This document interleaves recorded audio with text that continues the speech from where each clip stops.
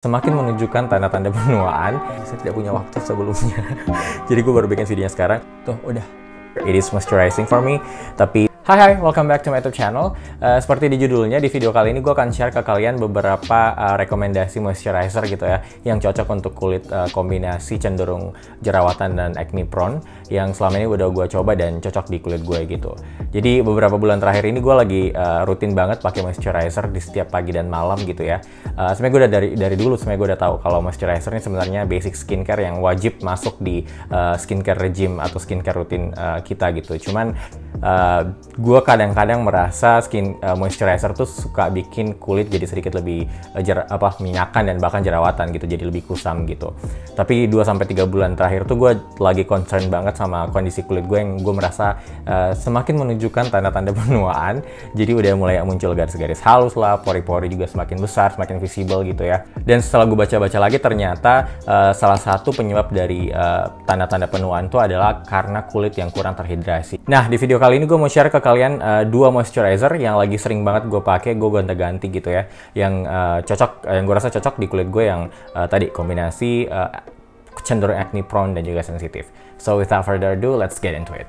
Nah, pelembab pertama yang mau gue rekomendasiin adalah Bioderma Hydra Bio Gel Cream bentuknya seperti ini. Nah, ini udah mau habis bentar lagi dia gone jadi perlu di restock dia tuh seperti namanya teksturnya gel jadi sangat um, gampang diaplikasikan gitu ya dan juga uh, very light gitu lightweight gitu. Jadi ketika lo pakai lo nggak akan berasa lo pakai sesuatu gitu. Saking ringannya bahkan moisturizer ini bisa digunakan di muka yang lagi breakout parah gitu lagi jerawatan banget gitu. Karena katanya ini fungal acne safe gitu. Gue tunjukin deh teksturnya ya. Jadi dia tuh emang sangat dia krim aja sih gitu. Krim uh, dan very lightweight. Gue pakai ini setiap pagi dan malam. Kalau pagi gue pakai sebelum sunscreen dan kalau malam gue pakai di uh, step terakhir untuk mengunci kelembapan dari semua skincare rutin yang salah skincare produk yang gue pakai di malam hari gitu.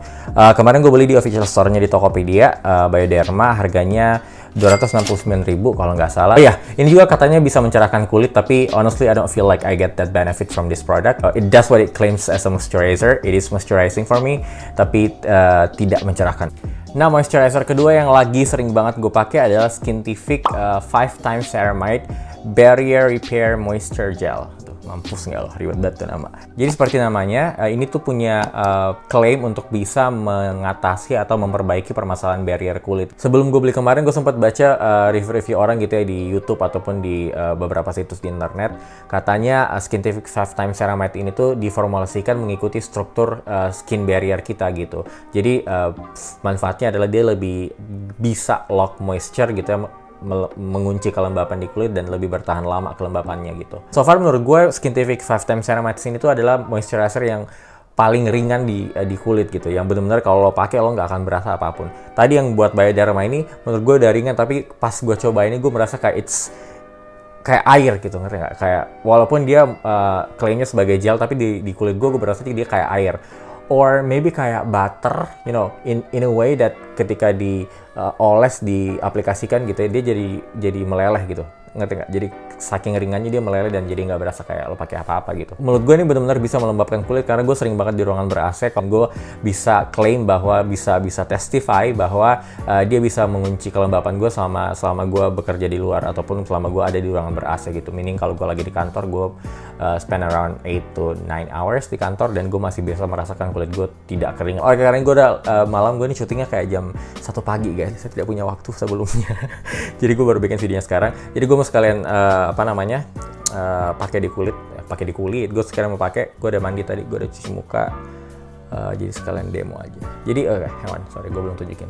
Ini tuh benar-benar kayak gel. Sebenarnya lo pakai dikit aja dia udah gampang diratakan ke kulit sih. Cuman uh, kebetulan saya memang anaknya sedikit boros jadi saya sukanya yang banyak kalau gue baca dari klaimnya produknya sendiri, dia punya namanya marine collagen kalau nggak salah yang mana itu berfungsi untuk menghaluskan uh, tekstur kulit gitu, which was actually the reason why I started, uh, you know, incorporating uh, moisturizer in my skincare uh, regime kan beberapa, beberapa bulan terakhir. Tuh udah, dia kayak bikin muka uh, lembab dan ya well dia kayak glowing gitu loh karena tadi muka lo lebih terhidrasi. Gue nggak tahu ya mungkin karena dia punya centella asiatica, uh, dia tuh jadi gampang juga untuk calming kulit muka gue gitu. Karena muka gue tuh sensitif ya. Jadi kayak setiap abis cuci muka tuh pasti ada aja yang merah. Dan setiap kali gue pakai ini tuh dia tuh lama-lama kayak meredahkan merah di muka gue itu. Karena setahu gue kandungan uh, sental asetik itu juga berfungsi sebagai anti inflamasi gitu. Jadi uh, it, it does make sense kalau uh, bisa meredakan atau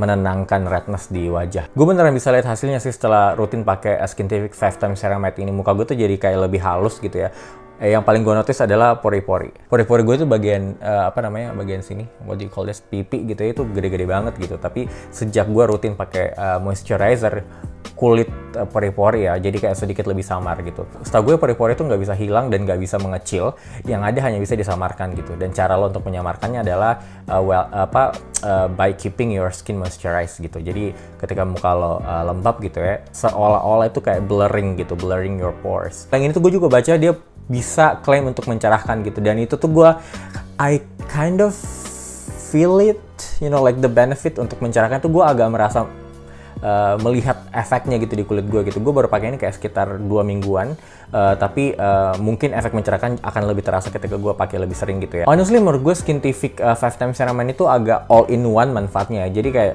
banyak skin barrier uh, problems yang bisa di uh, yang mereka klaim bisa bisa solve gitu kayak redness kulit kering pori-pori besar dan juga apa namanya kulit bertekstur itu juga mereka klaim untuk bisa hilangkan gitu walaupun gue baru pakai dua minggu I can somehow feel uh, gitu ya jadi kayak gue lagi uh, rutin banget pakai ini gue mau habisin and I'll see Uh, maybe I can give an update uh, nanti setelah gue habis satu botol akan seperti apa uh, hasilnya di kulit gue gitu. Tapi so far so good. Kemarin gue beli produknya di Skintific uh, official store di Tokopedia, harganya 133.000. Jauh lebih murah memang dibandingkan dengan Bioderma yang Hydro Bio Gel Cream ini. Uh, tapi walaupun dia lebih murah, justru benefitnya lebih banyak gue rasakan dari Skintific ini sih. So segitu aja video kali ini, semoga video ini bermanfaat, especially untuk teman-teman yang lagi nyari uh, moisturizer gitu ya untuk kulit kombinasi yang cenderung sensitif dan acne prone.